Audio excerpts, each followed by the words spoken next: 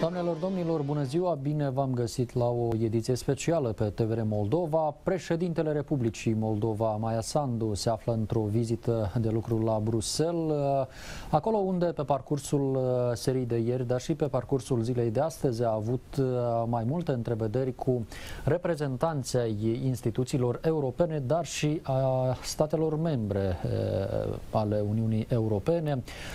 În scurt timp uh, va susține și un discurs istoric în Parlamentul European, iar după ce va rosti discursul va avea și o conferință de presă comună împreună cu șefa legislativului comunitar Roberta Metzola, iar mâine Maia Sandu va efectua o vizită și la Paris, acolo unde are programată o întâlnire cu președintele francez Emmanuel Macron.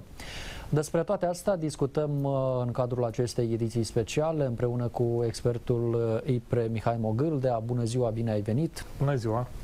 Uh, doamnelor, domnilor, așa cum vă spuneam, în Parlamentul European, în scurt timp, președintele Maia Sandu va rosti un discurs pe care îl vom transmite în direct. Până atunci, domnule Mogâldea, vreau să vă întreb cum uh, comentați, cum apreciați, uh, iată, ceea ce urmează să se întâmple în Parlamentul European, pentru că, din câte țin eu minte, poate greșesc, uh, nu am avut în istorie situații în care un președinte al Republicii Moldova să vină în Parlamentul European și să rostească un discurs în fața deputaților europeni. Da, așa este, într-adevăr, nu am avut în istorie